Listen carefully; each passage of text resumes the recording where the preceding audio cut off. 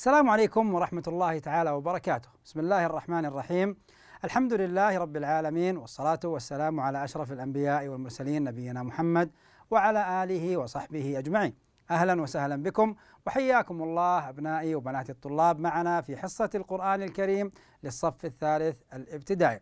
نكمل بإذن الله خلال هذه الحصة سورة الصف من الآية السابعة وحتى الآية التاسعة مع مراجعة الآيات السابقة. إذا كما ذكرت سورة الصف معنا خلال هذه الحصة نقرأ من الآية السابعة وحتى الآية التاسعة. في البداية نتذكر سويا آداب تلاوة القرآن الكريم حتى نلتزم بها عند القراءة. تذكرون أول أدب قلنا ما هو؟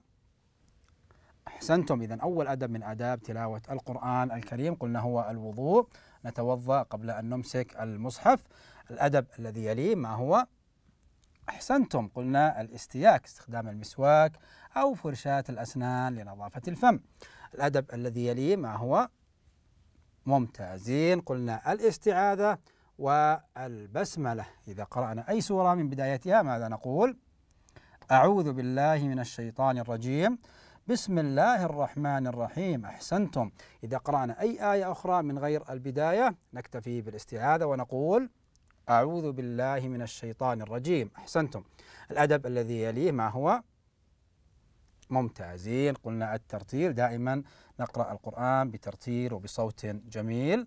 الأدب الذي يليه. أحسنتم. قلنا الخشوع وبعده قلنا التدبر والتفكر. إذا دائما نحاول أن نقرأ في مكان هادئ ومعدل للقراءة بقدر المستطاع حتى نتمكن من الخشوع ونتمكن أيضا من التدبر والتفكر. في الآيات التي نقرأ إذا دائما نلتزم بآداب تلاوة القرآن الكريم أثناء الحصة أو في أي وقت آخر. أيضا نتذكر سويا تنبيهات عامة قلنا مهمة جدا وتساعدنا في الاستفادة من تواجدنا سويا أثناء الحصة. بالتأكيد تذكرون أول أمر مهم قلنا ما هو؟ أحسنتم. إذا قلنا احتساب الأجر من عند الله سبحانه وتعالى لأن كل حرف نقرأه في القرآن لنا به حسنة إذا أجر عظيم عند تلاوتنا للقرآن الكريم أثناء الحصة أو في أي وقت آخر. الأمر الذي يليه ما هو؟ ممتازين. قلنا المتابعة في المصحف مهمة جدا. يكون المصحف موجود معنا أثناء الحصة. ونفتح على الآيات المطلوبة. نتابع أثناء الاستماع أو أثناء التلاوة. المتابعة تساعدنا على التركيز وعلى الاستفادة من تواجدنا كما ذكرت سويا أثناء الحصة. إذا نقطة مهمة جدا نلتزم بها دائما. الأمر الذي يليه ما هو؟ أحسنتم قلنا النطق الصحيح. مهم جدا أن نستمع بشكل جيد حتى نتمكن بإذن الله من قراءة الآيات ونطقها بشكل صحيح. النقطة التي تليها ما هو؟ أو ما هي؟ أحسنتم إذا قلنا القراءة بتمهل.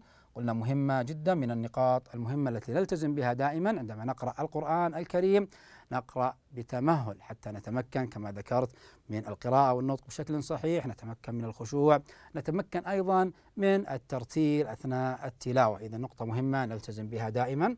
آه الأمر الذي يليه ما هو؟ ممتازين قلنا المحافظة على المصحف. اتفقنا عندما ننتهي من تلاوتنا للقرآن الكريم. نضع المصحف في مكان نظيف لأن المصحف يحوي كلام الله سبحانه وتعالى. دائما نحافظ عليه من التلف ومن التمزق. النقطة الأخيرة المهمة ما هي؟ ممتازين. المراجعة المستمرة. نراجع سويا كما تعودنا أثناء الحصة. كذلك أنتم مهم جدا أن تراجعوا بشكل مستمر. عرفنا برنامج مصحف مدرستي التعليمي وذكرنا أنه برنامج مهم جدا يساعدنا على المراجعة وعلى مذاكرة الآيات المطلوبة. مهم جدا أن نستفيد من هذا البرنامج الذي يحوي العديد من القراء والعديد من المميزات الجميلة والمفيدة. إذا آه سويا الآن نفتح على سورة الصف. آه سنستمع للسورة من البداية بإذن الله حتى الآية التاسعة. بعد ذلك نقرأ الآيات المطلوبة منا من الآية السابعة حتى الآية التاسعة. جاهزين؟ إذا نبدأ على بركة الله ونستمع لسورة الصف. نستمع لسورة الصف من الآية الأولى وحتى الآية التاسعة ونتابع في المصحف. أعوذ بالله من الشيطان الرجيم. بسم الله الرحمن الرحيم. سبح لله ما في السماوات وما في الأرض وهو العزيز الحكيم.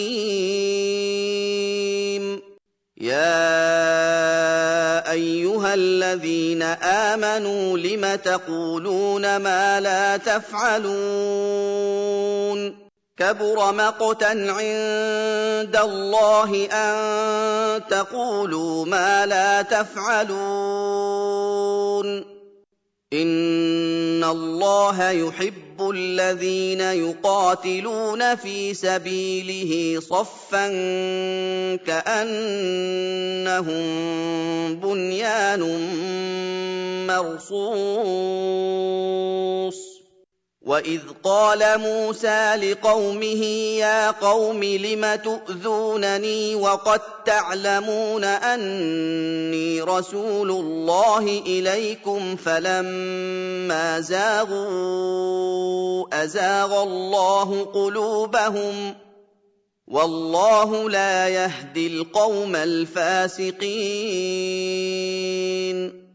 واذ قال عيسى ابن مريم يا بني اسرائيل اني رسول الله اليكم مصدقا لما بين يدي من التوراه ومبشرا برسول ياتي من بعد اسمه احمد فلما جاءهم بالبينات قالوا هذا سحر مبين ومن اظلم ممن افترى على الله الكذب وهو يدعى إلى الاسلام والله لا يهدي القوم الظالمين. يريدون ليطفئوا نور الله بأفواههم والله متم نوره ولو كره الكافرون. هو الذي أرسل رسوله بالهدى ودين الحق ليظهره على الدين كله ولو كره المشركون. ممتازين نريد أن نستمع مرة أخرى لسورة الصف من الآية الأولى وحتى الآية التاسعة نراجع الآيات السابقة مع الآيات المطلوبة منا في هذه الحصة ونتابع في المصحف. أعوذ بالله من الشيطان الرجيم. بسم الله الرحمن الرحيم. سبح لله ما في السماوات وما في الأرض وهو العزيز الحكيم. يا ايها الذين امنوا لم تقولون ما لا تفعلون كبر مقتا عند الله ان تقولوا ما لا تفعلون ان الله يحب الذين يقاتلون في سبيله صفا كأنهم بنيان مرصوص.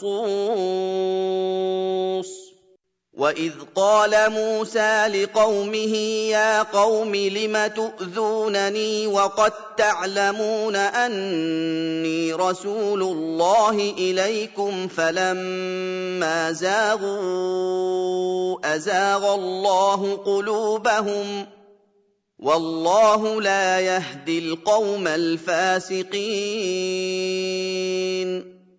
واذ قال عيسى ابن مريم يا بني اسرائيل اني رسول الله اليكم مصدقا لما بين يدي من التوراه ومبشرا برسول ياتي من بعد اسمه احمد فلما جاءهم بالبينات قالوا هذا سحر مبين ومن اظلم ممن افترى على الله الكذب وهو يدعى إلى الاسلام والله لا يهدي القوم الظالمين. يريدون ليطفئوا نور الله بأفواههم والله متم نوره ولو كره الكافرون. هو الذي أرسل رسوله بالهدى ودين الحق ليظهره على الدين كله ولو كره المشركون. ممتازين يعطيكم العافية. إذا راجعنا الآيات بشكل جيد من الآية الأولى وحتى الآية التاسعة. الآن نريد أن نستمع للآيات المطلوبة منا في هذه الحصة. إذا نستمع من الآية السابعة. وحتى الآية التاسعة. مهم جدا أن نستمع ونتابع في المصحف. إذا استمعنا بشكل جيد سنقرأ بعد قليل بإذن الله قراءة صحيحة خالية من الأخطاء. جاهزين؟ إذا نستمع سويا من الآية السابعة وحتى الآية التاسعة. نستمع ونتابع في المصحف. أعوذ بالله من الشيطان الرجيم. ومن اظلم ممن افترى على الله الكذب وهو يدعى إلى الاسلام والله لا يهدي القوم الظالمين يريدون ليطفئوا نور الله بأفواههم والله متم نوره ولو كره الكافرون. هو الذي أرسل رسوله بالهدى ودين الحق ليظهره على الدين كله ولو كره المشركون. ومن اظلم ممن افترى على الله الكذب وهو يدعى إلى الاسلام والله لا يهدي القوم الظالمين يريدون ليطفئوا نور الله بأفواههم والله متم نوره ولو كره الكافرون. هو الذي أرسل رسوله بالهدى ودين الحق ليظهره على الدين كله ولو كره المشركون.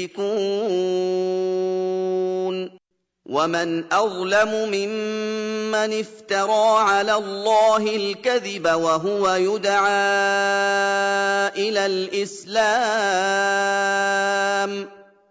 والله لا يهدي القوم الظالمين يريدون ليطفئوا نور الله بأفواههم والله متم نوره ولو كره الكافرون. هو الذي أرسل رسوله بالهدى ودين الحق ليظهره على الدين كله ولو كره المشركون.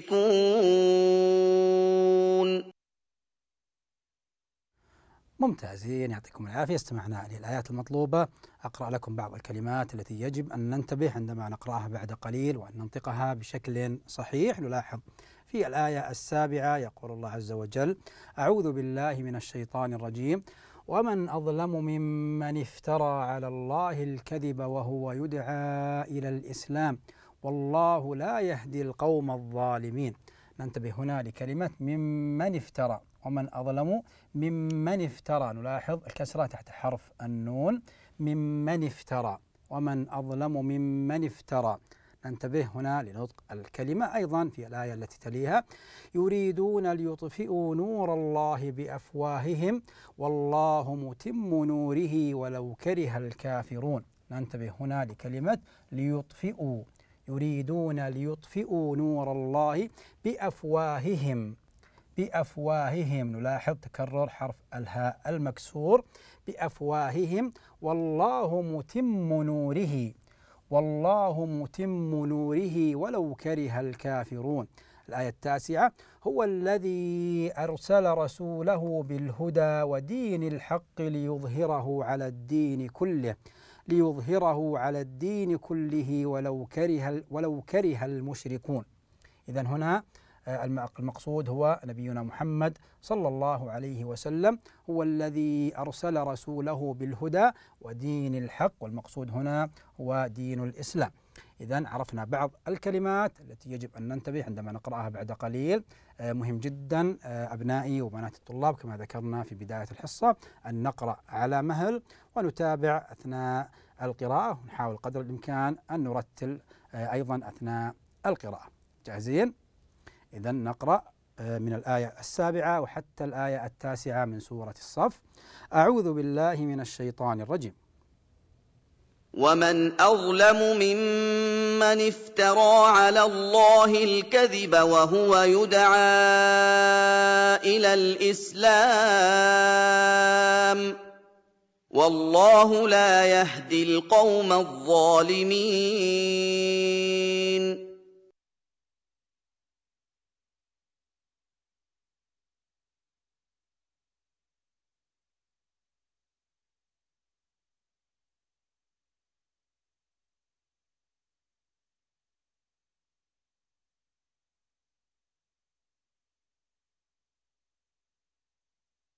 يريدون ليطفئوا نور الله بأفواههم والله متم نوره ولو كره الكافرون.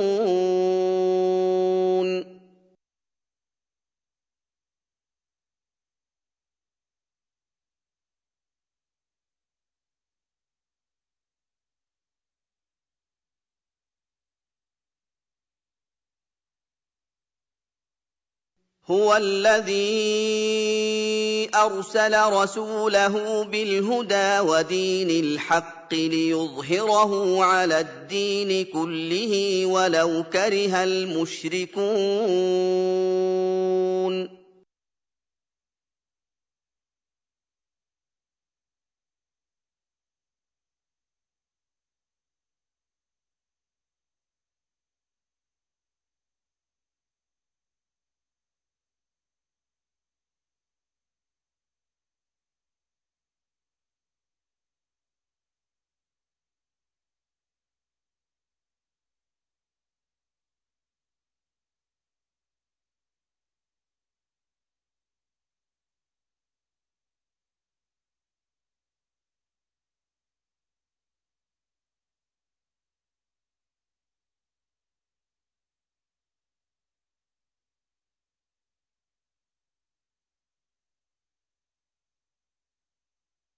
تازين يعطيكم العافية. نقرأ مرة أخرى.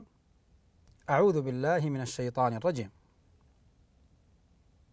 ومن أظلم ممن افترى على الله الكذب وهو يدعى إلى الإسلام والله لا يهدي القوم الظالمين.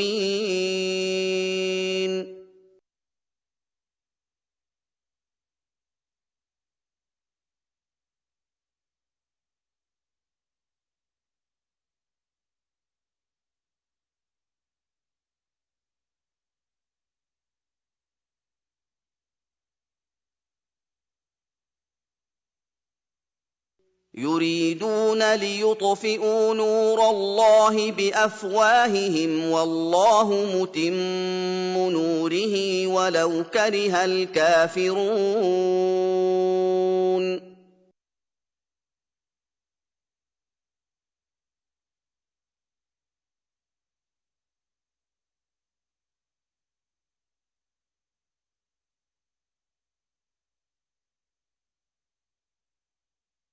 هو الذي أرسل رسوله بالهدى ودين الحق ليظهره على الدين كله ولو كره المشركون.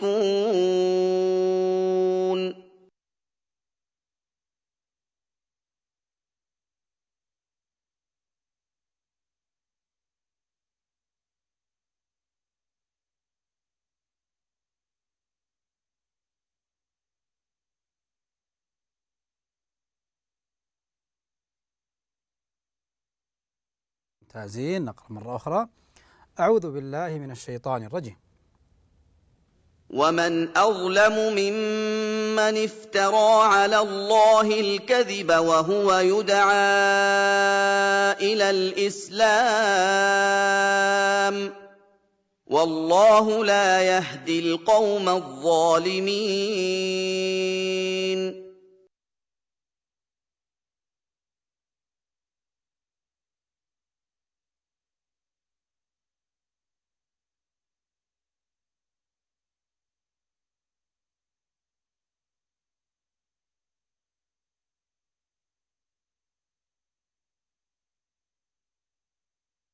يريدون ليطفئوا نور الله بأفواههم والله متم نوره ولو كره الكافرون.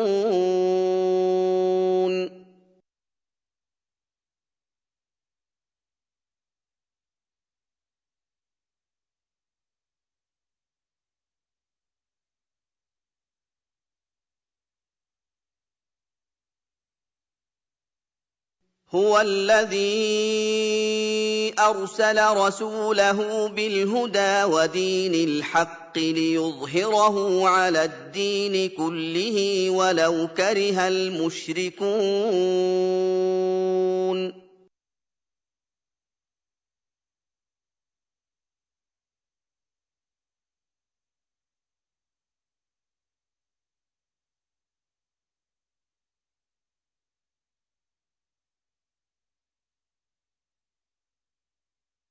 ومن اظلم ممن افترى على الله الكذب وهو يدعى إلى الاسلام والله لا يهدي القوم الظالمين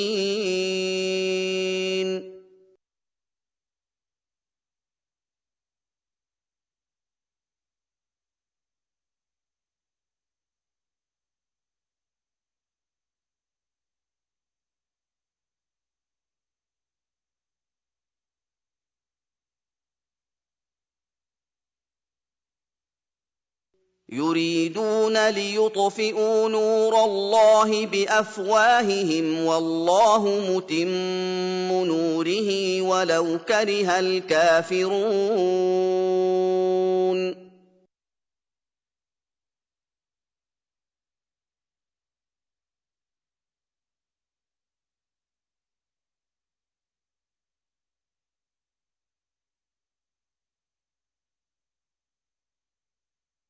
هو الذي أرسل رسوله بالهدى ودين الحق ليظهره على الدين كله ولو كره المشركون.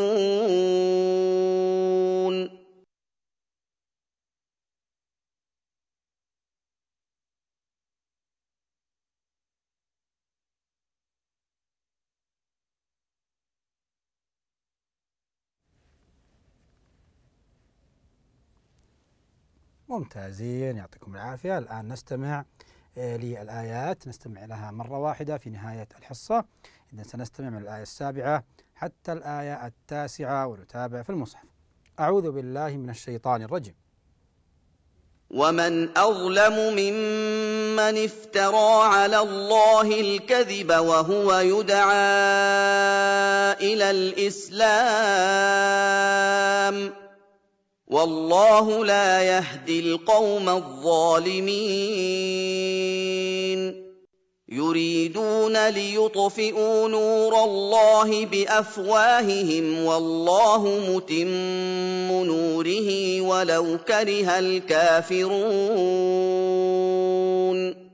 هو الذي أرسل رسوله بالهدى ودين الحق ليظهره على الدين كله ولو كره المشركون.